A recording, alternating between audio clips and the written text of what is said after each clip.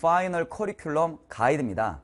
어, 구평이 끝나고 나서 아주 많은 학생들이 계속 Q&A에다가 저 어느 커리큘럼부터 들어와야 되나요가 워낙 많아갖고요. 그냥 가이드를 찍었습니다. 제가 등급별로 좀 나눠서 설명을 드릴게요. 제가 전에 케이스 했던 말과 연결되는 건데요.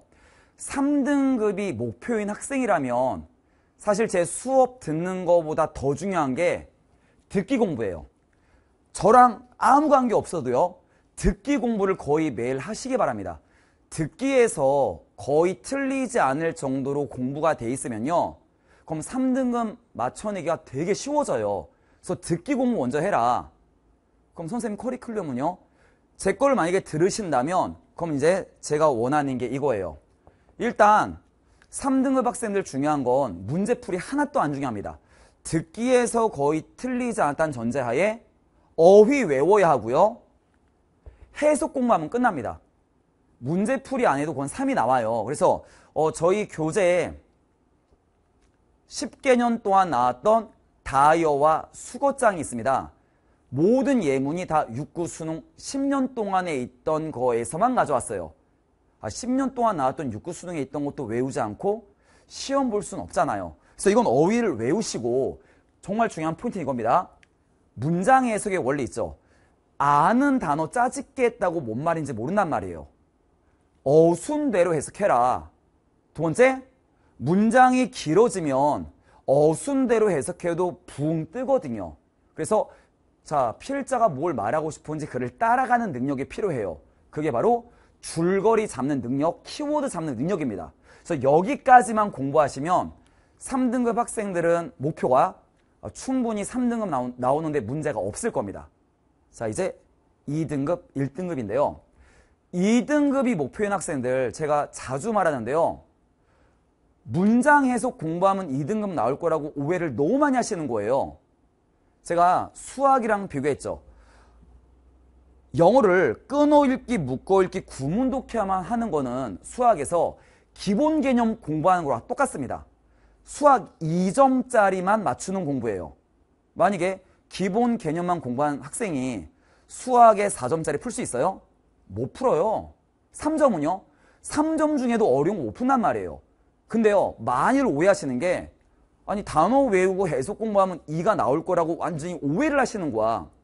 자, 제가 케이스에도 말했었는데 특히나 선지 고르기가 문제예요. 구문 독해만 한 학생들의 문제점이요. 읽는 속도도 느리고요. 두 번째가 매력적인 오답에서 선지를 못 지웁니다. 그래서 꼭 2등급이 목표인 학생은 문제풀이 공부를 꼭 하시기를 제가 추천을 합니다. 그래서 1번 무조건 어휘 공부하는 건 맞다. 근데 2등급이 목표라고 한다면 중난도에서는 틀리는 일이 발생하면 안 되지 않냐.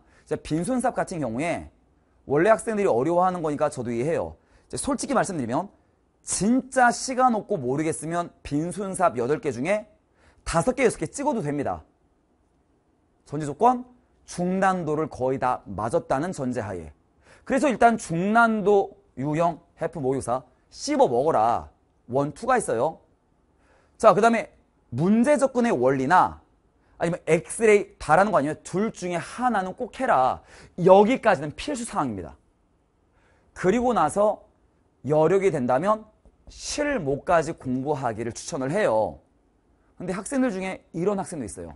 선생님 제가 요번 시험에 아, 이까지 많이 올리긴 했는데 찜찜합니다. 제 실력인지 모르겠어요. 이 질문을 제가 정말 많이 받거든요. 저도 그게 알아요. 거꾸로예요.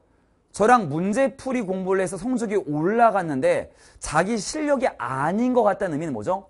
해석이 안 된 겁니다. 그런 학생들은 이거예요. 점수는 올랐는데 아, 내 실력인지 잘 모르겠어요. 아직 자기 해석에 확신이 없는 거예요. 그러면 일단 어휘는 외우는 거 맞고요. 문장 해석의 원리 아닙니다. 문장 해석의 완성을 하길 원합니다.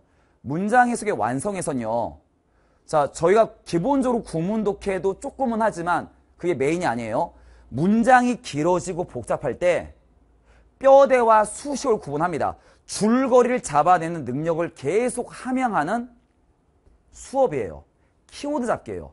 이게 해석 능력을 끝까지 올리는 공부거든요. 그래서 아 거꾸로예요. 제가 2등급까지 올리긴 했는데 아 찜찜합니다. 선생님 제 실력 아닌 것 같아요 하면 문장 해석의 완성 이걸 꼭 하시길 원하고요. 1등급 나오는 학생은 겹쳐요. 자 1등급 목표 학생은 또, 또 설명드립니다. 선생님 제가 요번에 94는 나왔는데요. 제 실력 같지 않은데 어떻게 해요? 해석이 빵꾸난 거예요. 찜찜한 겁니다. 자기도. 점수는 올랐지만 여전히 문장 해석의 완성이에요. 문장 해석의 완성 타겟 자체가 원래 1, 2등급이에요. 그래서 이거 하시고 여력이 되시면 어휘 꼭 암기하시고 근데 오해하지 마셔. 이 어휘장 무조건 사라는 게 아니라 기존에 있는 어휘장 아직 충분하게 외우지 않은 거 있으면 그거 하세요. 굳이 새로 살 필요는 없습니다. 제가 제 지금 책, 팔, 책 팔려고 광고하는 거 아니니까. 자, 그 다음. 이제 일반적인 1등급이 목표인 학생입니다. 우리 압니다.